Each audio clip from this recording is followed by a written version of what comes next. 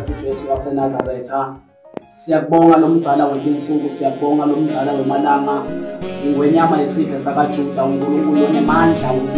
yabo heavenly father namuya ngosukubele saphuma phatha lesihloko lesinemandla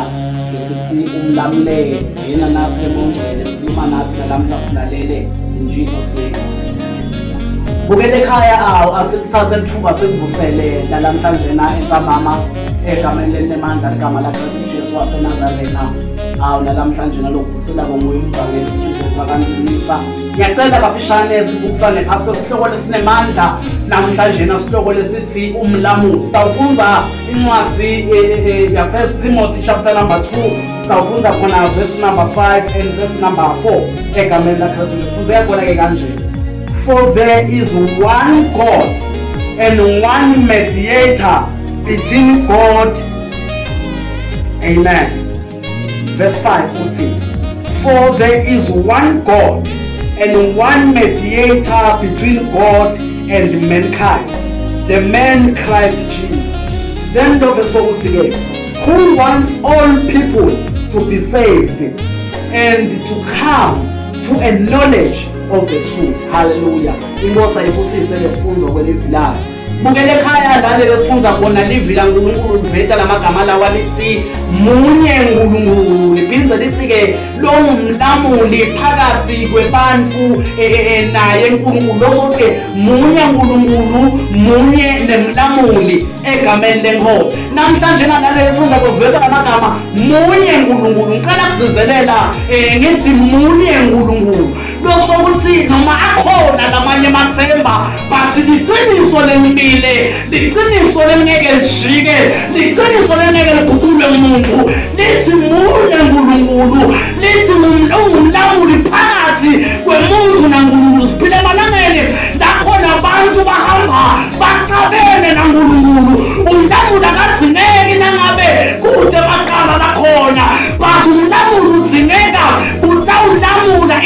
vadzite umlamuludzinela kutawulanda nanga bevana vadzite vaqabene namhlanje nitawumemetela swaziland nitawumemetela south africa nitawumemetela africa munya mulungulu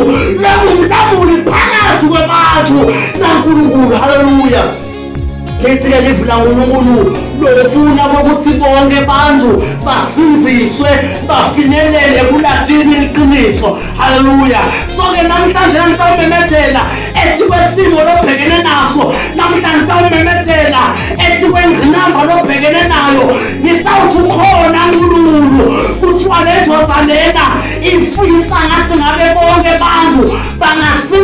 bakhuliswa bafinyelele kulathini iqiniso akeyithambemethela labanye bahlele esolweni labanye bahlele emanyaleni labanye bahlele engqoleni bathi munye nkulunkulu le ngoza yasekhalivara ingoza yesiphambano ingumlamuli phakathi kwemuntu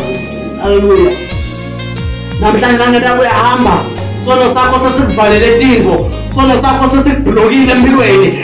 uhamba nawosewuyati nedingo nedingakho esempilweni yakho awusakhona ekuthandaza njalo na uthi yathandaza kwasathane vele kudonsa sono sakho futhi bangathandaza bonke bangagqumagquma bonke hayi wena bathi namhlakathi ukhona enkulunkulu ikhona ibhonsa lesibambano nakamhlanye ngabutamilena nabanye bavinjelimotakazene nabanye bavinjela ikuva labo lalela sikwaleso simo munye enkulunkulu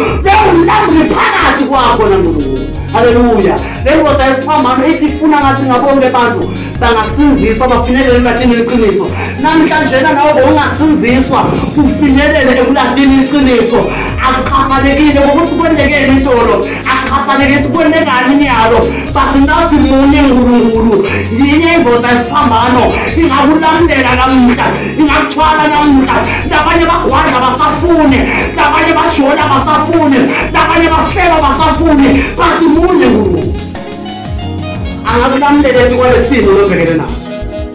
labanye bosiyami bangenwanga umoya bangenwa dimoni lensha ngoba idimoni lensha insha ayingenelani indla yamnithi isihlali izishiye kanje namhlanje kunebantu abaphila imiko baphilisa kwet indla because abangalamulelwa namhla ikhona indvoza ningamlamulela namhla ukhona ngulunqulu ningamlamulela sawuhamba tinyanga othanda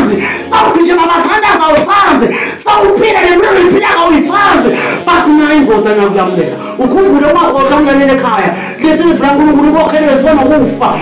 sipho semusa sankulunkulu sikuphile lokuphakathe namhla ndifela kubhizelati kwempilo yakho lithi sipho semusa sankulunkulu sikuphile lokuphakathe haleluya sipho semusa sankulunkulu sikuphile lokuphakathe lesono losena namuhla ngicela kuveta mbukele ekhaya kokuthi kungeneka abantu ababone kungeneka kunje nokwatiko kwathi wena wejona